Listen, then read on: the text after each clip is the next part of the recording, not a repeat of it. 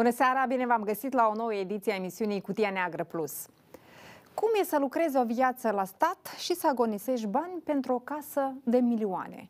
Astăzi vă prezentăm o investigație despre șeful Inspectoratului de Poliție Râșcani, Vitalie Țurcan, care și-a cumpărat anul trecut o casă de vis în orașul Cricova, suburbia municipiului Chișinău. După jumătate de ani de la achiziție, acesta a scos casa la vânzare pentru suma de 5 milioane de lei. Întreaga istorie într-o investigație realizată de noul nostru coleg Ștefan Bejan.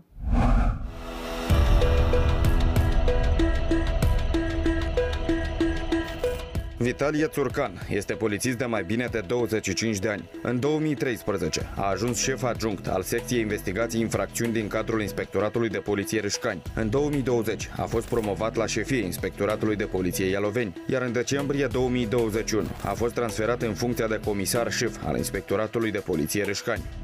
Cu o lună înainte de ultima promovare, în noiembrie 2021, comisarul și-a cumpărat o locuință de milioane. Casa luxoasă se află în centrul orașului Cricova, o suburbie a municipiului Chișinău. Locuința este aplasată pe un lot de pământ de 8 ari. Ne aflăm pe o stradă îngustă și proaspăt asfaltată din centrul orașului Cricova. Ambianța de aici aduce mai mult cu una din sat. Casele sunt majoritatea modeste, iar pe tutinde se aude lătratul câinilor.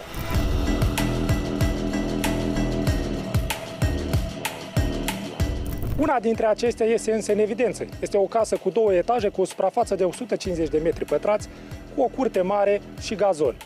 Vecinii spun că nu știu cine locuiește la moment în această casă și că nu au văzut pe nimeni, dar cunosc că aceasta a aparținut în trecut viceprimarului de Cricova, domnul Slobozeanu. De șapte luni de zile, casa se află în proprietatea lui Vitalie Țurcan. Pe site-ul ANEI nu am reușit să găsim declarația de avere a comisarului pentru anul 2021, ca să vedem dacă Țurcan o indica și la ce valoare. În schimb, casa apare în declarația de avere pentru anul trecut a fostului proprietar, viceprimarul orașului Cricova, Victor Slobozeanu. Potrivit documentului, acesta a obținut din vânzarea imobilului 900.000 de lei. În ultima sa declarație de avere, alesul local mai indică în proprietate două case de 111 și 164 de metri pătrați, estimate la câte un milion de lei fiecare. Ambele au fost obținute prin donație. De asemenea, Slobozeanu declară un spațiu comercial de 221 de metri pătrați, cumpărat în 2014 cu 836 de mii de lei. Anul trecut, alesul local a cumpărat împreună cu concubina sa patru automobile cu valoare totală de 60 de mii de euro. Din anii precedenți, Slobozeanu mai are în proprietate alte patru mașini mașini. Am mers la primăria Cricova pentru a discuta cu viceprimarul Slobozeanu despre locuința vândută comisarului de la Reșcani și celelalte imobile obținute prin donație. Casa a fost vândută cu 1.800.000 de lei. Casa este scris, era scris pe mine și pe soție, fosta soție mea. Jumate o doime mi-aparținea mie, o doime aparține fostei soții. Dar a fost declarat, este mm, la notar, contractul de vânzare, doar este tot. Eu nu văd o problemă. Am văzut că în anul 2021 da, vin. aveți, ați procurat câteva mașini de lux. Deci dumneavoastră v-ați uitat în uh, declarația mea de avere, vă rog? Da. V-ați uitat? Da. Dumneavoastră știți că eu, din, dacă nu mă greșesc, din anul 1997 muncesc. Da, am muncit pe patent și am întreprinderi, da, dumneavoastră ați văzut? În anul 2003, Slobozeanu cu adevărat a înființat o companie, SC Alpina Auto SRL, care se ocupă de vânzarea pieselor și accesoriilor pentru autovehicule. Însă în ultimii ani, afacerea a fost mai degrabă păguboasă. În perioada 2018-2020, firma declară că a avut pierderi în valoare de 364.000 de lei. Slobozeanu mai spune că o parte din bani pentru achizițiile de lux sunt ai concubinei. Dumneavoastră, uitați-vă că eu am declarat adevărat că locuiesc cu concubina. Concubina are banii ei, are, a avut că i-a, i-a cadonat casă, că a vândut, a avut apartament, l-a vândut. În declarația pe venit din anul 2021, concubina acestuia declară că a obținut venituri din salariu de 63.000 de lei de la compania lui Slobozeanu, dar și 410.000 de lei din vânzarea a două automobile și 3.000 de euro, donație de la o rudă. Să revenim însă la comisarul șef al Inspectoratului de Poliție din sectorul Rușcan și casa de lux pe care și-a luat-o de curând. La șase luni după ce a cumpărat casa, Vitalie Țurcan a scos-o la vânzare. Potrivit anunțurilor de pe site-urile specializate, comisarul cere astăzi pentru locuință 249.000 de euro, adică aproximativ 5 milioane de lei. Tot din anunțurile cu privire la vânzarea locuinței, am putut deduce cum arată casa din interior. Din fotografiile plasate pe site-ul unei companii imobiliare, putem observa că locuința este una luxoasă, cu design personalizat, dotată cu mobilier scump, climatizatoare, iar curtea cu supraveghere video, gazon și un loc de agrement cu grătar și foișor. Am mers la Inspectoratul de Poliție Râșcani pentru a discuta cu Vitalie Țurcan despre achiziția de milioane de anul trecut. Comisarul a confirmat că a cumpărat casa cu 1,8 milioane de lei și a plătit întreaga sumă pe loc, în cash. Ulterior a mai investit și alți bani în reparație și amenajare. Am achitat cash, s-au prezentat uh, ambele părți, adică la acel moment vânzătorii, soț, soție, am achitat tot. Este contract de vânzare, toată suma, da, foarte corect, nu se discută. Am mai făcut niște investiții, am reparat, normal, am investit puțin. Țurcan spune că a decis să vândă casa proaspăt cumpărată din cauza unor motive personale. Vitalie Țurcan și soția sa au fost toată viața bugetari, iar judecând după declarațiile de avere a lui Vitalie Țurcan, acesta a avut în ultimii patru ani venituri modeste, un salariu între 10 și 14.000 de lei. Nu-i totul așa cum Da, ok, noi dăm întrebări. crede lumea sau cum crede. Tot sunt cetățean în Republicii Moldova, muncesc în instituția în cauză, am muncit doar la stat și eu și soția și de atâta nu este nimic, nimic așa ușor cum se redă. În afara salariului, Vitalie Țurcan mai declară că în anul 2018 a obținut 6500 de euro din vânzarea unui automobil de marca Toyota, dar și o donație de 18.000 de dolari americani, venită din partea lui Grigorie Țurcan, fratele comisarului. Conform declarațiilor de avere, soția lui Vitalie Țurcan nu a obținut venituri în perioada 2017-2021, deși acesta spune că ea lucrează jurist. Cu toate acestea, în 2017, Țurcan indică în declarația sa de avere că a cumpărat în acel an două apartamente de 73 de metri pătrați și 75 de metri pătrați, pentru care a achitat peste 900 de mii de lei și respectiv 44 mii de euro. Tot atunci, polițistul și-a cumpărat și un automobil Toyota Prius. Pentru mașina produsă în 2008, Țurcan indică că a plătit 10.000 de lei. Un an mai târziu însă reușește să o vândă cu 6.500 de euro și cumpără o altă mașină Toyota, de data aceasta cu 6.200 de lei. În declarațiile din perioada 2018-2019, niciunul dintre apartamentele procurate în 2017 nu mai apare, dar nu sunt declarate nici sume de bani provenite din vânzarea lor. În schimb, în anul 2020, Țurcan declară din nou un apartament de 73 de metri pătrați, dobândit în 2018 și a cărui valoare este de un leu. Comisarul a vândut însă acest apartament în toamna anului trecut, înainte de a cumpăra casa din Cricova. Păi aici este același apartament. E același apartament. Aici este același apartament. Acolo 73 și e pe strada Genta Latină 10. Eu în apartamentul meu, a familiei mele, deja nu mai am, am fost proprietar, am locuit în el, personal l-am procurat, personal l-am reparat, am locuit câțiva ani în el, după care am vândut și am procurat casa. Ia ca care nu, ceva e o încurcătură. E același apartament, aceeași adresă, același cod cadastral. Trebuie să fie declarat. Mă rog, vedeți dumneavoastră, eu spun că am declarat și am declarația și am făcut-o pe stic. Dumneavoastră spuneți că nu e din 2022, când eu am făcut-o. Eu l-am procurat la fază, da, când încă casa era în construcție. Da? Apoi la m, cadastru, poate l-am înregistrat în 2018. Tot în 2020, polițistul și-a cumpărat și o mașină Kia, tot din 2008. Valoarea indicată a automobilului este de această dată de 100.000 de lei. În pofida multiplelor achiziții și schimbării de mașini și locuințe, familia Țurcan a avut o singură sursă de venit, salariul comisarului, dar și câteva credite bancare. În 2018, acesta a luat un credit în valoare de 300.000 de lei, cu o rată a dobânzii de 11%. În declarația din anul 2019, Țurcan nu declară niciun credit la bancă, iar în 2020, un alt credit luat tot în 2018 în valoare de 350.000 de lei și o rată a dobânzii de 5,5%. Credite cu părere de rău am foarte multe și da. puteți să le vedeți, ele sunt la bancă, banca poate să vă prezinte toată informația în detaliu. Eu am să vă prezint în detaliu că ele sunt uh, extrasurile de la bancă, eu tot, tot, tot ceea ce iau, tot strâng. Adică pentru investigare eu vă prezint în detaliu. Până la urmă eu le iau. Și eu și le întorc, nu le întoarce nimeni. L-am întrebat pe comisar de ce nu a depus declarația de avere pentru anul 2021. Țurcan ne-a dat asigurări că a completat personal declarația de avere și nu înțelege de ce nu este publicată. După ce am insistat să ne ofere o copie a documentului, la câteva ore după întâlnirea cu el, polițistul ne-a transmis o poză cu extrasul de pe site-ul ANI cu declarația sa de avere, completată însă exact în ziua în care am mers să-i luăm interviu. Personal am, am uh, sticul, am făcut declarația fără nicio problemă, sunt conștient, în tot anul am făcut declarații. Am făcut-o chiar de, din birou dat, din calculatorul dat. În declarația de avere pentru anul trecut, Țurcan indica o casă cumpărată, dar și un apartament de 44 de metri pătrați, achiziționat tot în 2021, cu 420.000 de lei. Comisarul scrie că a obținut venituri din salariu de 190.000 de lei, dar și 1,38 de milioane de lei din vânzarea apartamentului. De asemenea, Țurcan declară că are două credite bancare de 400.000 de lei, respectiv 80.000 de lei, două donații de 30.000 și 100.000 de lei, dar și patru împrumuturi în valoare valoare totală de 709.000 lei de la diferite persoane fizice.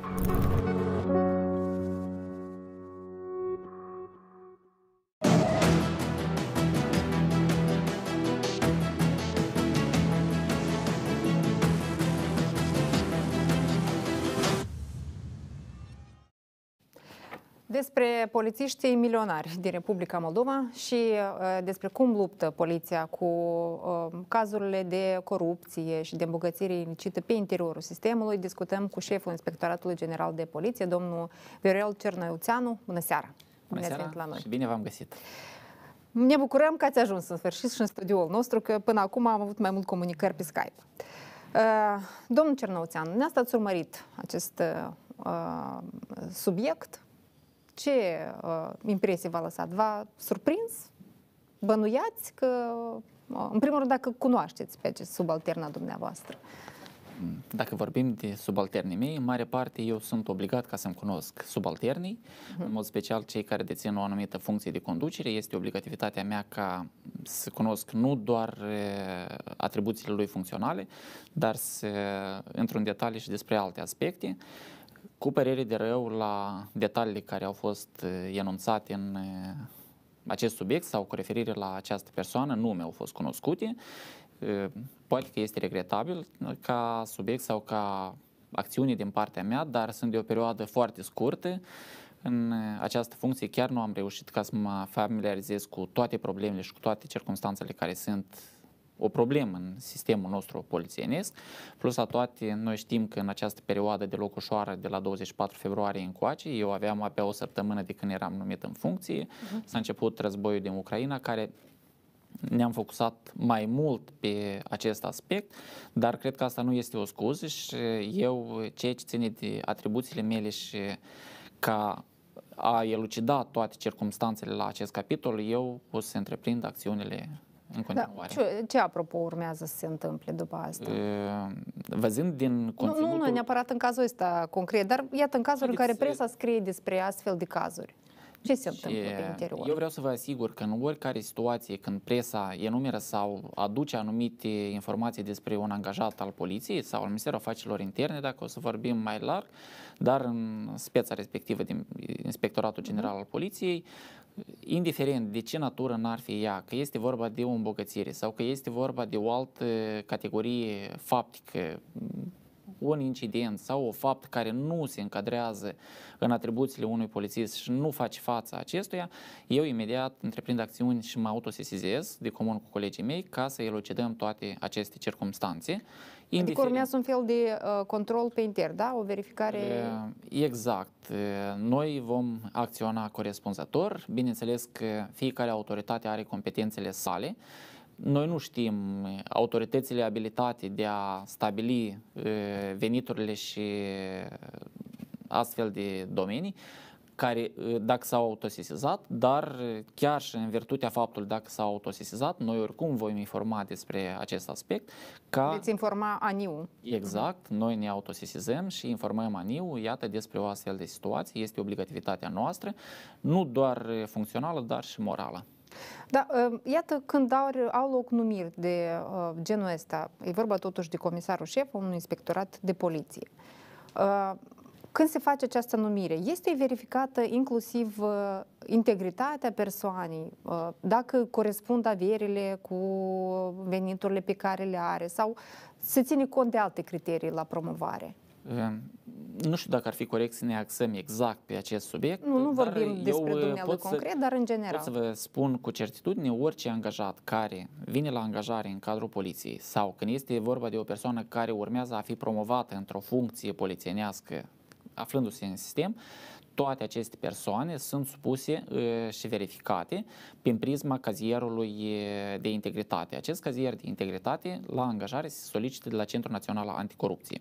De ce înseamnă acest cazier? Ei sunt verificați înainte exact. de asta? asta și uh-huh. explic. În momentul în care o persoană este angajată în poliție sau o persoană uh-huh. urmează a fi promovată într-o funcție, nu poate fi realizat acest pas până nu vine de la Centrul Național Anticorupție cazierul de integritate.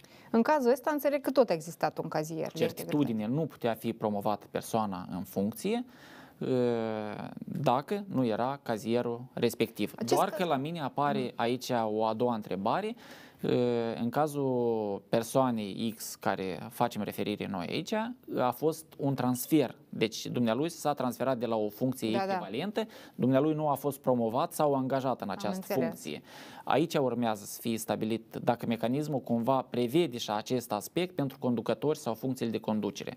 Dar, la general, v-am spus, orice persoană care se încadrează în poliție sau urmează a fi promovat, obligatoriu acest mecanism îl parcurge, plus Dar la acest toate... mecanism, el este unul formal sau el este unul abordat la modul cel mai serios? Eu vă întreb pentru că noi în trecut am văzut persoane cu probleme grave de integritate, care au fost ulterior reținute, uh, chiar în dosare de îmbogățire licită, care au fost promovate, n-au, nu știu cum, ce fel de caziere au obținut, probabil că erau bune din moment ce au fost promovați. Cred că nu ar fi corect din punctul meu de vedere ca să dau o apreciere acestor caziere dacă ele sunt bune sau nu sunt bune bune.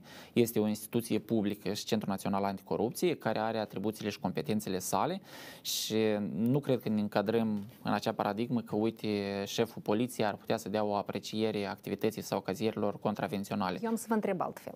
Vi s-a întâmplat vreodată uh, ca pe cineva care urmează să fie promovat sau, nu știu, transferat dintr-o funcție în altă sau nu știu, v-a venit uh, caziere bune, dar dumneavoastră, de fapt, pentru că nu veniți de pe altă planetă, lucrați cu acești colegi zi de zi, nu aveți cum să nu știți, să bănuiți câte ceva, v-ați dat seama că nu e chiar așa.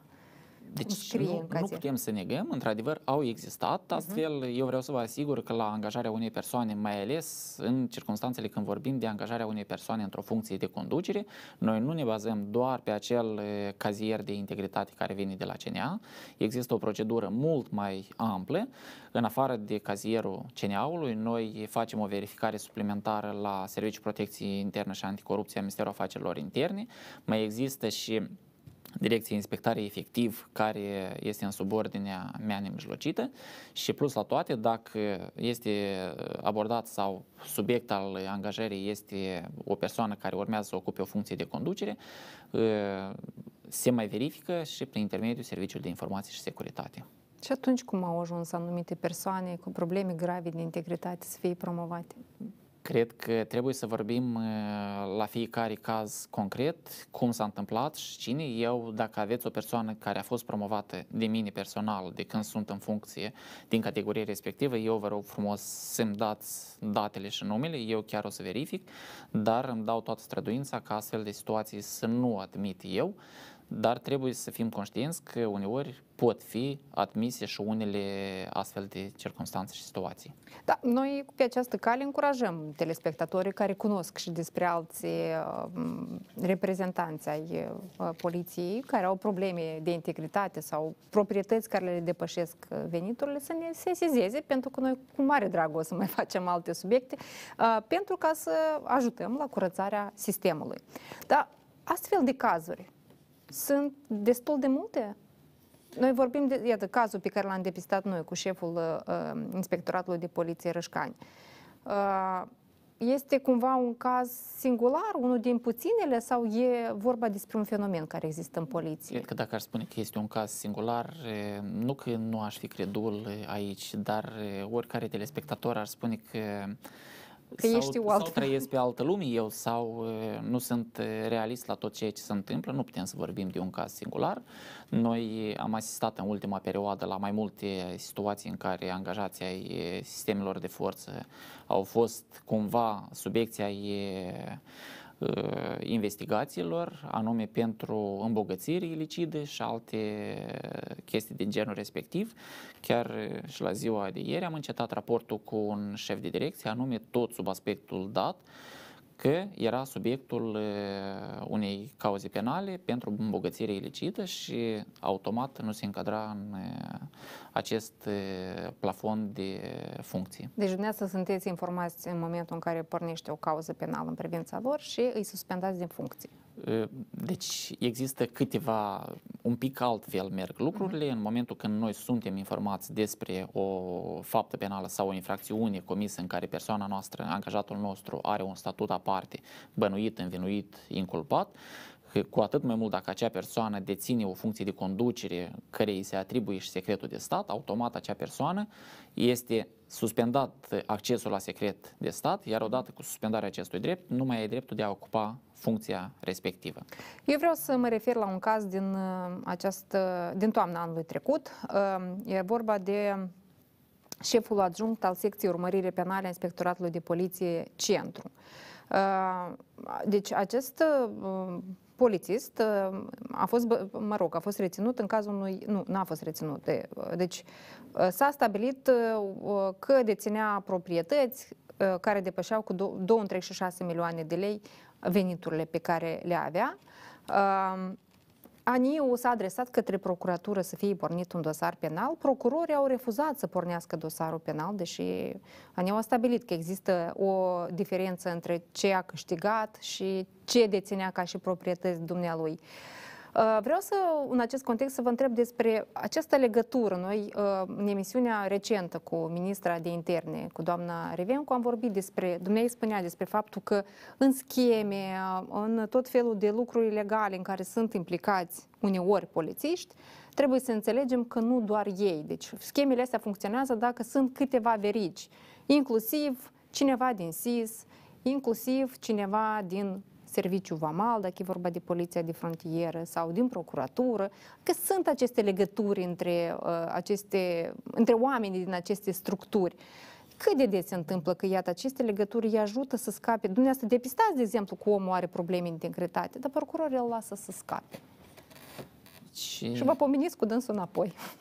Eu nu vreau să intru în grădina procurorilor ca să dau... Dar eu vă invit să rămâneți în grădina dumneavoastră, spuneți, să ne spuneți de câte da. ori mingea vă este înapoi pasată pe teren. E, dar, într-adevăr, sunt situații în care persoana este cumva, are un anumit statut și cel mai regretabil, eu nu vreau acum să constat de curând, nu am exemple concrete, dar în practica mea mi s-a întâmplat când persoana a avut un statut 7-8 ani de zile.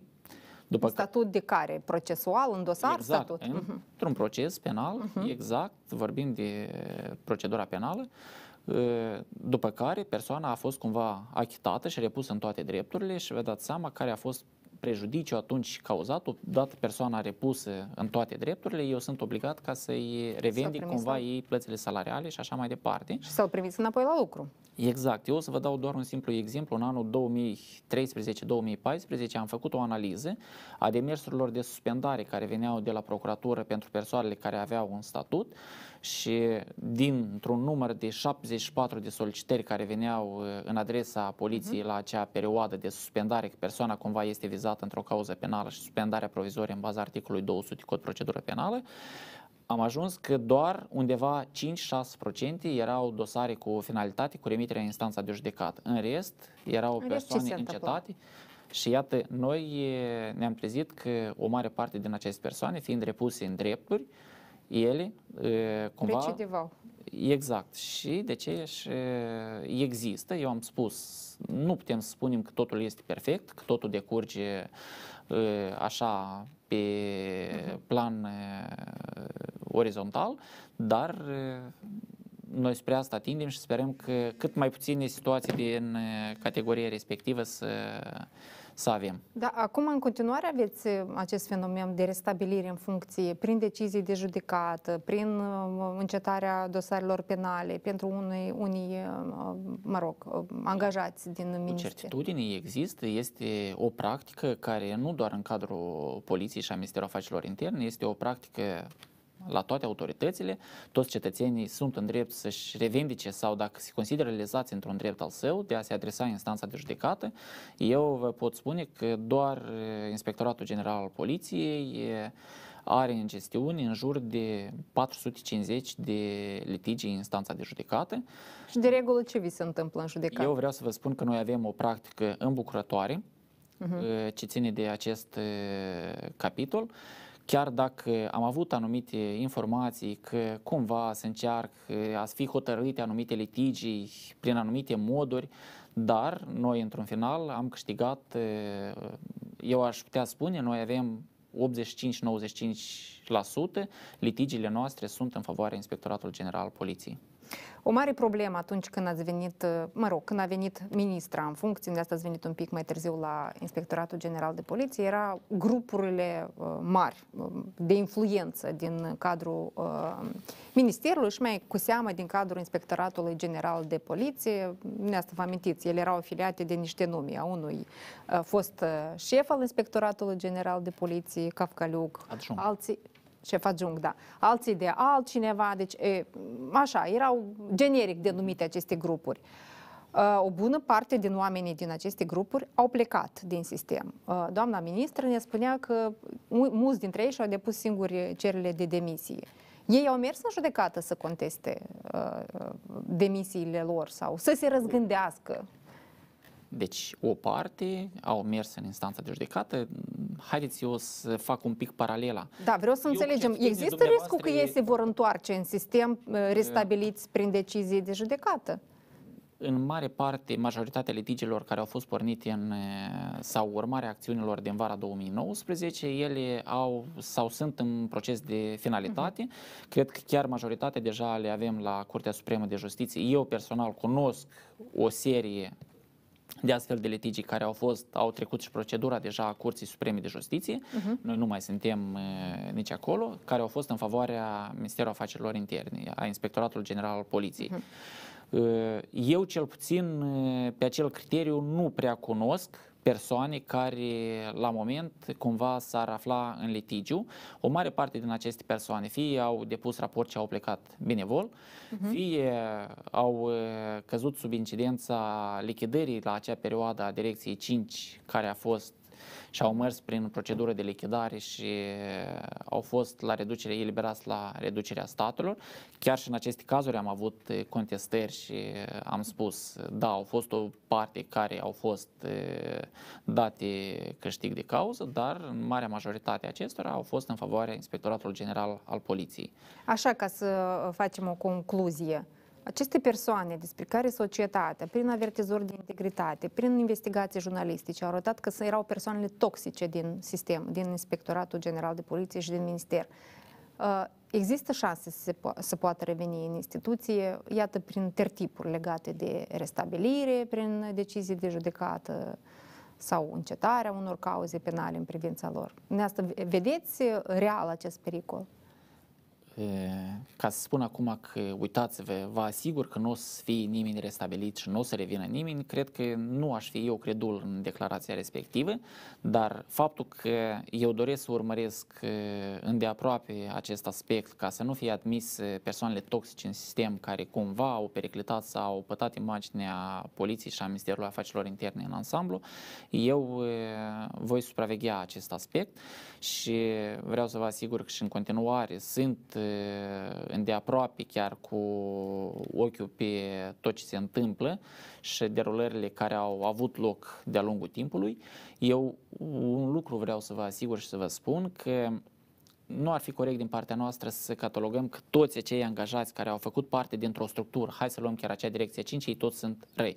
Deci direcția 5 a fost formată din câteva secții, Da. dintre care unele secții au avut uh, niște obiective naționale importante care, eu nu vreau să deschid uh, toate parantezele aici, dar care obiectivul lor a fost chiar uh, unul profesionist faptul că în acea direcție au fost și alte secții care s-au ocupat cu Iată, acțiuni. direcția C, da? Care exista, Exact, care da. înțeleg că se ocupa cu toate matrapazlăcurile care se întâmplau acolo. Exact. Oamenii din acea secție sunt care uh, au contestat în judecată faptul că au Nu fost. sunt. Deci noi nu avem uh, din acea secție. Cred că ei și-au dat bine seama chiar la acea etapă că acțiunile lor sau uh, ceea ce au făcut ei ar putea genera mult mai multe riscuri și cred că pentru ei a fost mult mai convenabil la acea perioadă doar să se retragă, să dea un Și au plecat toți din acea direcție. Eu vreau să vă spun că Secția. din acea direcție 5 care a fost peste 60, Secția de, C. peste 60 de persoane, la moment în sistemul nostru sunt în jur de 20 de persoane. Din 60, Din 60, da. am înțeles. Dar sunteți atenți la ei? Eu sunt atent la oricare angajat care este în Ministerul Afacerilor Interne. Da, pentru că ați pomenit de această direcție numărul 5. Uh, Noi nici măcar din investigație n-am reușit, de presă n-am reușit să vedem tot tabloul general. Din aceste anchete penale care acum uh, apar acum, iarăși vedem bucăți de puzzle. Cazul uh, uh, lui Gheorghe Petic, în care am văzut cum s-a acționat. Câteva cazuri, cazul Damir, în care vedem cum s-a întâmplat acolo. E un pic din alt uh, peisaj, dar mă rog, ca tot să, acolo. da, ca să înțelegem ce fel de lucruri se întâmplau în acea direcție. Că se dădeau identități false, că se dădea legitimații omului care nu vine pe la lucru, că se inscenau uh, violuri, uh, că oamenii de afaceri li se mai întâmpla să fie șantajați de reprezentanții acelei secții, direcții. Dar niciodată noi nu am fost informați și eu personal chiar am așteptat ca noua conducere a Ministerului să ne vină și să ne spună ce s-a întâmplat acolo, câtă lume a fost interceptată și filată. Înțeleg, pede- pedeapsa o va stabili instanța de judecată când va primi un dosar complex, deoc- deocamdată acest dosar complex nu știu dacă este, dar noi, de dragul ca să știm adevărul, ce s-a întâmplat? Am fost noi urmăriți, am fost noi interceptați de acea direcție, cum au justificat ei lucrurile astea? Adică, cel puțin să ne se facă un fel de uh, dreptate morală. Eu am înțeles. Eu doar pot să vă spun că doamna ministru sau conducerea ministerului nu vă poate da astfel de informații, deoarece dumneavoastră nu are dreptul și nu are posibilitatea să intre în uh, esența sau să aibă posibilitatea să le studieze acestea. Dar ele sunt probele astea. Deci eu doar vreau să vă spun că procuratura a ridicat în toamna anului trecut, dacă nu greșesc, sau poate chiar mai devreme, a ridicat de la poliție, de la Inspectoratul General al Poliției, toate înscrisurile care corespunzător astfel de acțiuni au fost uh, materializate și doar pot să vă spun că înregistrări video erau mai mult de 8 terabytes Înregistrările video la cine se refereau? la Cine persoanele erau? care erau cumva filate.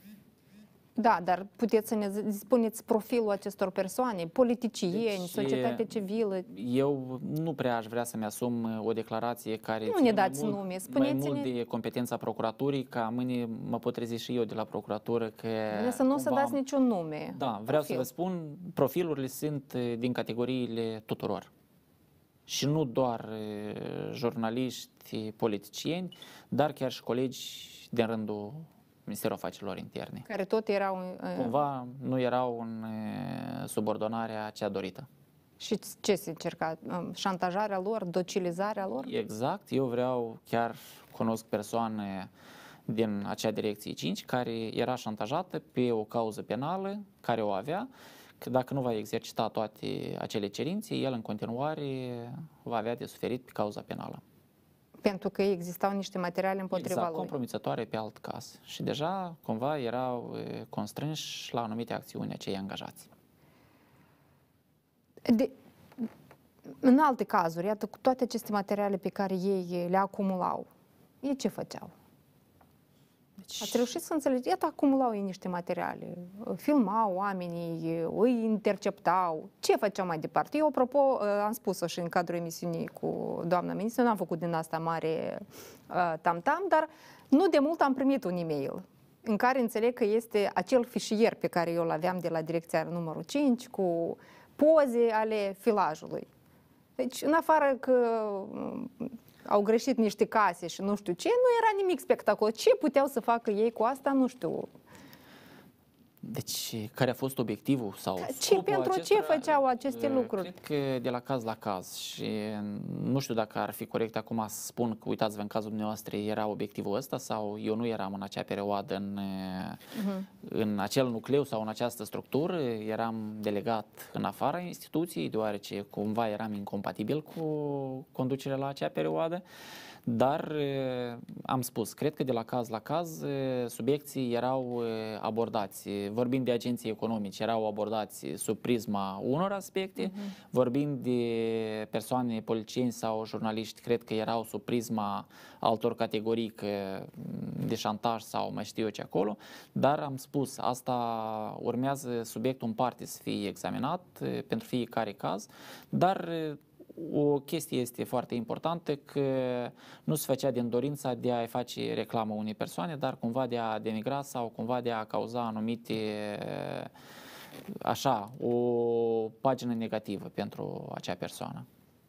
Uh, pentru că sunteți șeful Inspectoratului General de Poliție. Spuneți-mi, vă rog, ceea ce se întâmpla acolo, se putea întâmpla cu știința ministrului, dar fără știința conducerii IGP? Eu cred că orice este posibil. Adică la acea putea să... etapă. Da. Da, era așa? Eu cred că acolo erau tabere împărțite care o parte cunoștea ministrul, o parte cunoștea conducerea IGP-ului. Mhm. Pentru că din dosare înțeleg că lipsește domnul Cafcaliuc. Este greu de spus, nu aș vrea eu să dau uh, apreciere de ce lipsește uh, domnul Cafcaliuc sau dar uh, important este că acea direcție a fost formată de dumnealui, dumnealui a ghidat-o, dumnealui a dirijat-o întotdeauna și conducătorul acelei direcții a fost promovat permanent de dumnealui. Am înțeles. Desfințarea direcției numărul 5 a fost o idee, idee bună din punctul nostru de vedere? Din punct de vedere strategic uh-huh. și funcțional, dacă să ne referim la atribuțiile polițienești, acea direcție doar trebuia reorganizată. Ea nu trebuia să aibă profilul care l-a avut, ea trebuia să aibă acel concept de activitate care a fost creat în 2013 la această structură și trebuia să aibă orientarea către anumite problematici de ordin securitate națională, ceea ce se întâmplă în Republica Moldova și vreau să vă asigur că la ziua de astăzi, dacă conceptul care a fost în 2013 pentru instituirea acestei uh-huh. subdiziuni se aplica la ziua de astăzi, el ne-a ajutat foarte mult la ziua de astăzi. Dar, cu părere de rău, s-a distorsionat conceptul și s-a mers cu totul și cu totul pe alte pârghii și trebuie să recunoaștem că asta cumva, nu că a pătat, dar a periclitat cu totul din activitatea acelei subdiziuni. Noi nu am mai ținut cont că Direcția 5 avea o menire și o structură cu un regulament de activitate. Cred că regulamentul era doar pe hârtie. În realitate, lucrurile stăteau cu totul și cu totul altfel. Noi trebuie să luăm o pauză de publicitate, după care revenim să mai vorbim un pic și despre rolul spia în a, a combate sau face curățenii pe interiorul a, poliției, dar și despre alte domenii care țin de competența IGP.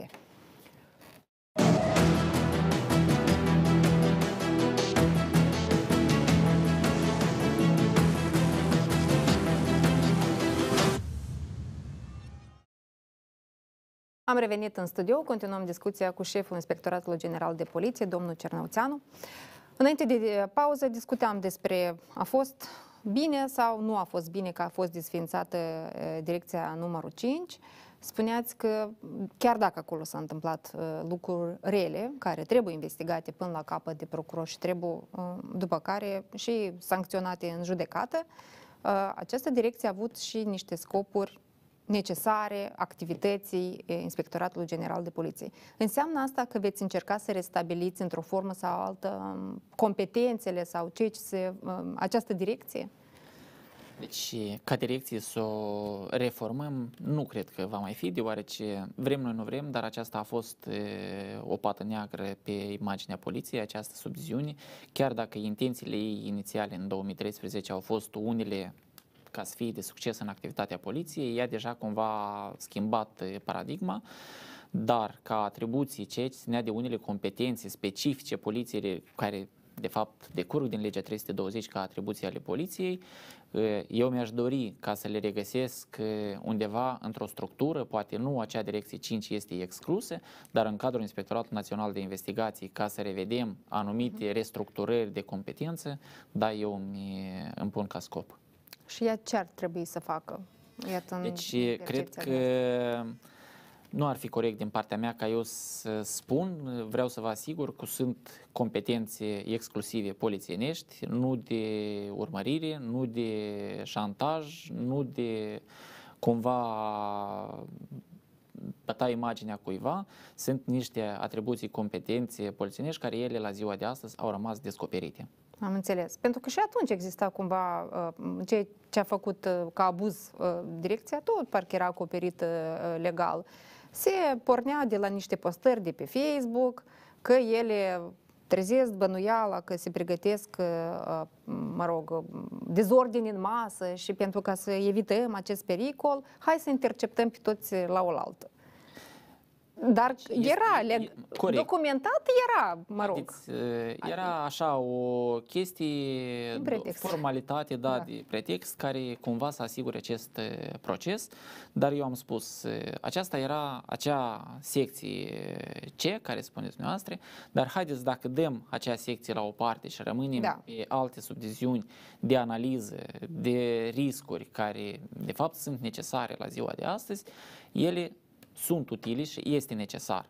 Și pe mine poate este și îmbucurător faptul că la ziua de astăzi acele competențe de activitate economică nu mai sunt în gestiunea poliției, uh-huh. că nu știu de ce și chiar Direcția 5 nu avea nimic cu activitatea economică a agentului economic și căutau acei angajați la întreprinderi sau la alte instituții cu profil economic cumva să descopere nu știu ce. Acesta nu era activitatea lor. Pentru aceasta, la acea perioadă, era Direcția 3 care avea profilul respectiv. Dar la ziua de astăzi nici Direcția 3 nu mai are, că competențele respective au fost preluate de Inspectoratul Fiscal.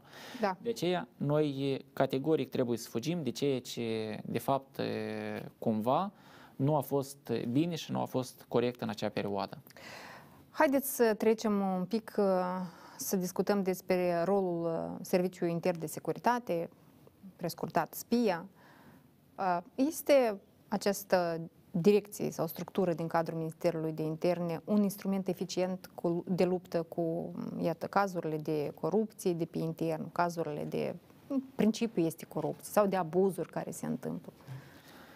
Eu uh, vreau să sper că colegii de la SPIA sunt cu ochii pe toți acei angajați care cumva calcă cu piciorul stâng peste piciorul drept atunci când se întâmplă astfel de cazuri și eu totuși sper că ei iau mecanismele bine puse la punct ca să nu admit acea corupție. Eu aș vrea să văd și alte mecanisme sau alte rezultate pe compartimentul corupției. Alte, acea... adică mai multe decât sunt nu acum? doar mai multe, eu aș vrea să văd corupția mare acolo unde nu vorbim de acei angajați doar care iau 1000 sau 500 de lei sau 100 de lei. Eu aș vrea să văd acele Scheme rezultate exact da. unde sunt implicați angajați. În aceea trebuie să batem. Bineînțeles, corupția mică ușor, poate după părerea mea, dar ar putea fi cumva stărpită. Aceasta ar fi printr-o motivare salarială. Nouă ni s-a demonstrat în această perioadă a stării de urgență, polițiștii noștri, chiar dacă sunt cei mai proști salarizați din tot sistemul ăsta bugetar al instituțiilor de forță, raportate la oricare, vorbim de SIS, vorbim de CNA, serviciu vamal, serviciu fiscal, noi suntem cei mai prost salariați. În această perioadă, reieșind din intensitatea muncii, cu suportul conducerii Ministerului și a Guvernului, am beneficiat de un spor pentru intensitate. Eu vreau să vă spun că în această perioadă s-a atestat o creștere foarte ridicată de uh, declarații sau denunțuri din partea polițiștilor de corupere din partea cetățenilor. Adică ei au denunțat încercările de a fi exact. corupți, am înțeles. Da, da. Dar cât este salariul unui polițist. Și dacă medie. vorbim de un începător, un simplu polițist care vine pentru prima zi uh-huh. să se angajeze în poliție, ofițer, ă, de la 6.000 de lei. Și cei care au, să zicem, 5-6 ani munciți? E, Nu se schimbă foarte mult tablou. Poate așa o schimbare esențială este pentru cei care au mai mult de 20 de ani, deoarece acele șase, șase trepte de salarizare care se adaugă pentru calculul salariului, ele se adaugă în funcție de anii lucrați. Astfel, la cea mai mare treaptă de salarizare, la treapta 6, poți ajunge doar după 20 de ani munciți efectiv.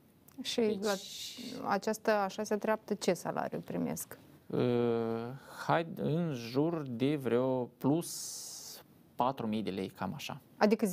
Da. da. Așa. Și ce îi face pe niște polițiști cu 20 de ani munciți să lucreze cu un salariu de 10.000 de lei? Și chiar și pe cei care vin în interior, noi nu putem găsi am angajați în- cu un salariu de 6.000 de lei. Eu am înțeles, uh, vreau să vă asigur că există, există unele persoane care o fac din uh, dorința și din plăcerea sau chiar și din uh, patriotismul de a o face. Asta această la funcție. început, dar le ține Exact. mult uh, acest Nu ține entuziasm. mult această, acest entuziasm la o perioadă foarte scurtă, în mod special atunci când fie persoana se căsătorește, fie când apare un copil în familie, automat atunci apar, apar și primele întrebări. Noi, e, chiar dacă uneori ne punem întrebări ce facem, cum facem, dar suntem nevoiți la unii angajați să le mai permitem o perioadă lungă de timp de a pleca în concediu doar pentru a merge la unele lucrări sezoniere ca cumva să-și asigure un venit. Eu vreau să vă spun că avem uh, un deficit foarte mare de angajați. Să nu credem că În ce direcție mai cu seamă e deficitul uh, ăsta? în toate. Pornind de la inspectori de sector, se- uh, ofițeri de investigații, uh, patrulari, inclusiv cei care cred că în patrulare toți doresc să muncească acolo, inclusiv și acolo avem un deficit, deoarece salariul nu este pe măsură. Uh, Dar Da, am dar spus, știți ce este ciudat? Atunci când mai au loc ședințe la care vin număr mare de uh, fi- nu neapărat șefi de direcție, dar când aveți evenimente de astea mai importante și vezi mașinile parcate prin prejurul Ministerului, Inspectoratului de Poliție, nu sunt mașini modeste, sunt mașini care costă scump. bine, haideți... Alta e cu cât sunt declarate ele în declarația de avere, mașinile astea. Eu e, nu vreau să vin e, cu justificări cu ce mașini vin colegii mei la serviciu sau la anumite ședințe. Pentru aceasta am spus, trebuie de la caz la caz ca să abordăm subiectul, dar e, o mare parte dintre aceștia, fie eu vă asigur că avem o mare parte care au muncit peste hotare și s-au întors înapoi, fie o parte, noi chiar dacă nu ne place să auzim fraza respectivă, dar au fost cumva ajutați de părinți sau rude care sunt aflate peste hotare, eu chiar vreau să vă dau un exemplu de entuziasm când o colegă de-a mea a câștigat un contract mult mai bine plătit la o ambasadă în această perioadă a stării de urgență, dar ea s-a refuzat. Eu nu am știut de la această persoană că ea s-a refuzat de acel contract, uh-huh. doar când a venit reprezentantul la ambasadă mi-a comunicat că, iată, a câștigat așa o persoană concursul la noi și urma să fie angajată, dar ei ne-a trimis un mesaj, a spus că în această perioadă deloc ușoară în care colegii ei sunt implicați activ, e vrea să fie alături de colegii ei. De aceea vă spun că sunt și colegi care și activează într-o subziune care chiar nu pot face nimic decât uh, salariu. Este o subziune pur de forță care are o menire aparte. Înțeleg. Eu v-am întrebat despre mașinile astea parcate în jur pentru că uneori despre corupție și uh, probleme de integritate a unei persoane poți ușor să-ți dai seama urmărindu-i stilul de viață. Uh, Spia are o astfel de competență de verificare a stilului de viață. M-am uitat din curiozitate peste ultimul raport al SPIA de pe site-ul lor.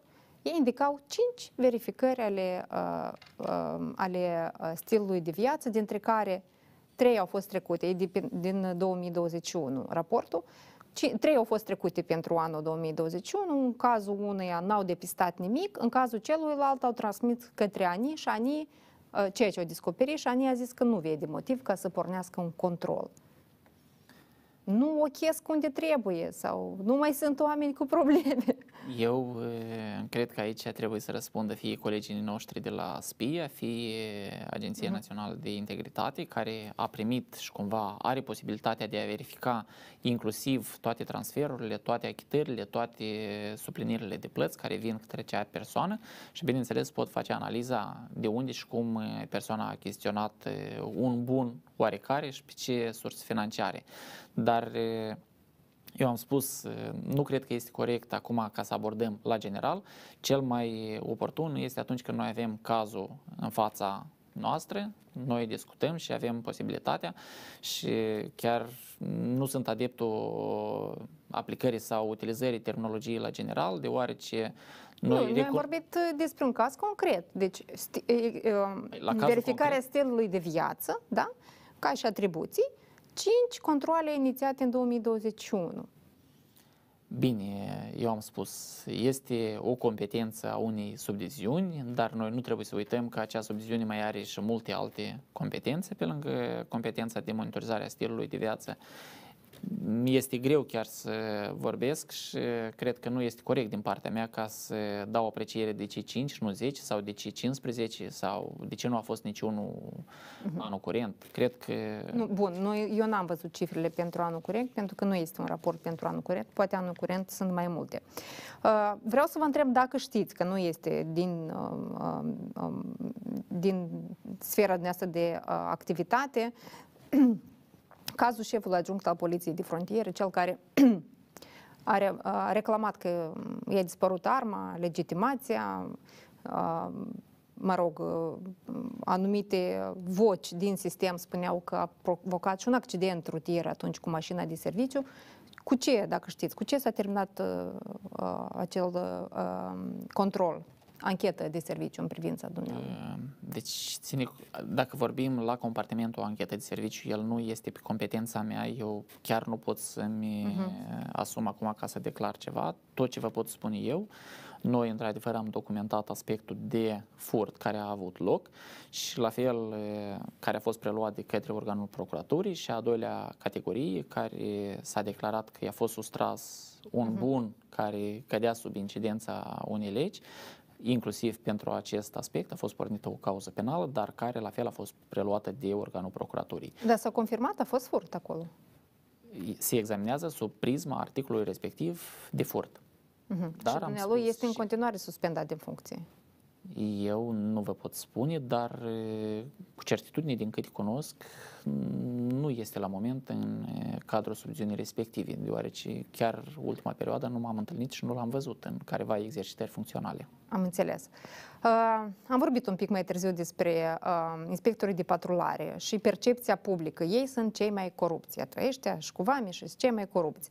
Dar, în realitate, uh, unde există cele mai grave uh, probleme de integritate, iată, în cadrul Ministerului sau angajaților din cadrul Ministerului? Unde vedeți dumneavoastră că e cel mai vulnerabil?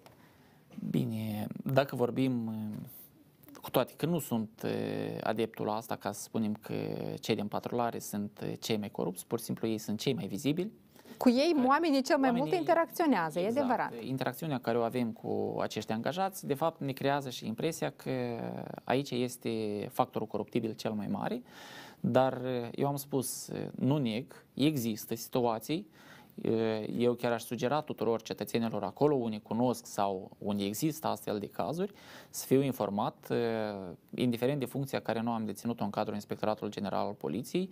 Eu nu am admis și nu am tolerat cazurile respective, chiar fiind în, în calitate de șef de direcții.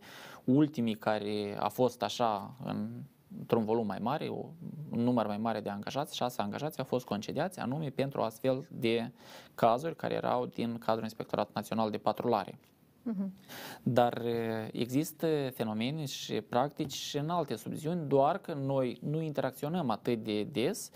Hai să vorbim, aceeași urmărire penală, aceeași investigație, alte subziuni care cumva ar putea, fenomenul poate apărea oriunde doar că pentru noi întotdeauna acea practică împrumutată din trecut, că cei din Poliția Rutieră, ulterior Inspectoratul Național de Patrulare, iată INSP actual, sunt cei care cumva ar fi cei mai corupți. Eu am stabilit niște reguli pentru acești angajați, chiar mai mult în ultima perioadă am mers și pe ideea că să fim cât mai mult stopați, dar să fim cât mai mult în mișcare, în mod special pe traseele naționale. Eu vreau să vă asigur că aceasta a dat roade. Noi, pe parcursul anului curent, am avut o diminuare atât a numărului accidentelor rutiere, cât și a numărului persoanelor traumatizate, dar cred că cel mai îmbucurător, nu putem spune că este perfect și nu este bine chiar, dar noi am scăzut cu, în 5 luni de zile, comparativ cu anul precedent, noi am scăzut numărul decedaților cu 14 în anul curent. Uh-huh. Cred că asta deja este ceva un plus și asta pe noi ne bucură foarte mult. Da, asta înseamnă că uh, veți continua această practică. Se plâng unii că sunt prea multe mașini de patrulare. Bine. pe trasee. Și în alte țări, mă rog, odată la 200 de kilometri, dacă vezi nu, o mașină.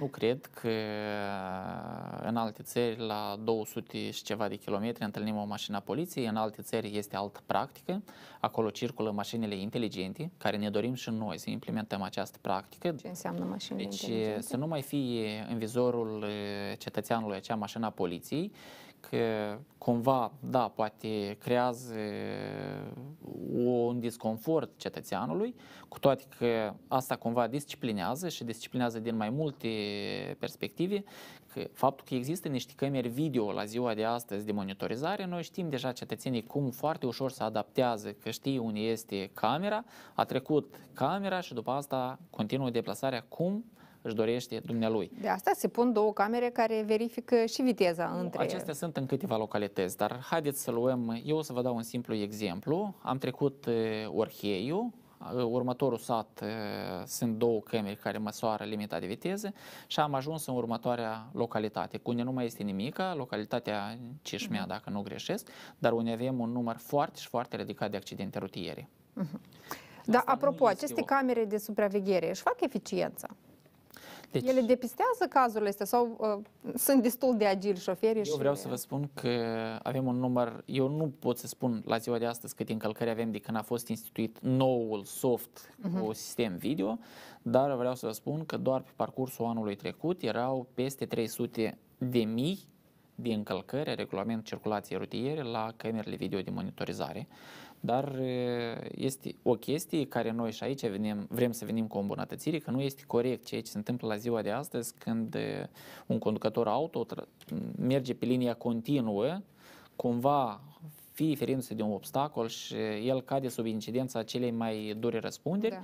Noi aici venim cu unele îmbunătățiri, acum chiar suntem în guvern cu acest proiect, uh-huh. unde scădem din responsabilitate și din răspundere aici, dar în schimb mergem pe alte trei principii când vorbim de viteză, stare de ebrietate și pieton, trecerile pietonale. Aici noi venim cu o îmbunătățire da. mult mai... Noi mai sperăm să veniți pentru că, într-adevăr, e desproporțional pe unele tipuri de încălcări pedeapsa aplicată, pentru că pe cele care provoacă deseori moartea oamenilor, nu știu de ce pedepsele sunt destul de blânde. Corect. Mai avem puțin timp. Vreau un pic să discutăm și despre lupta cu corupția sistemică. Dumneavoastră ați menționat un pic mai devreme că v-ați dori ca de la SPIA în sfârșit să vină anchete pe cazurile mari, da? De contrabandă, de scheme, de trafic de droguri, de nu știu ce altfel de scheme care implică oameni din poliție, din cadrul, mă rog, ai Ministerului. Noi n-am văzut astfel de cazuri, cel puțin ele nu ne-au fost comunicate. În schimb, au fost atâtea dezvăluiri în presă, atâta lume care a venit și a spus și despre schema cu anabolizantele, și despre țigări, și despre uh, contrabandă cu droguri în care sunt implicați polițiști. Parcă trăim în lumi paralele. Despre ele se vorbesc, de aici anchetele nu depistează nimic, dacă sunt anchete. Nu. Eu cred că dumneavoastră o să aveți oportunitatea să invitați și conducătorul eh, Serviciului Protecție Internă și Anticorupție din cadrul Ministerului pentru a vă da mai multe dezvăluiri uh-huh. sau a vă comunica la aceste capitole. Poate ei și au în prelucrare ceva care nu mi este mie cunoscut, dar eh, eu cu certitudine eh, voi merge la conlucrare și voi asigura tot ce ține din partea mea funcțional ca să documentăm aceste cazuri. Eu aș spune... Asta semnalat astfel de cazuri către spie? Dacă îmi sunt cunoscute, Dacă ați semnalat, dacă ați observat că aveți bănuieli că există pe domeniul pe care îl administrați astfel de probleme și le-ați semnalat să verifice. Deci, că bănuieli există, întotdeauna există anumite suspiciuni undeva, care, bineînțeles că noi le comunicăm, unde noi avem asigurarea că se documentează, că se ia în eh, supraveghere, dar eh, vreau să vă spun că ultima perioadă noi eh, trebuie să fim un pic mai consolidați. Eu chiar sper ca să am susținerea în tot ceea ce fac. Noi am avut de curând eh, o reținere cu spirit care e 40 de tone. Noi avem alte măsuri întreprinse care urmează să fie realizate în curând. Eh, La ziua de ieri dumneavoastră abordați în raport cu doamna ministru că droguri eh, Da. cumva.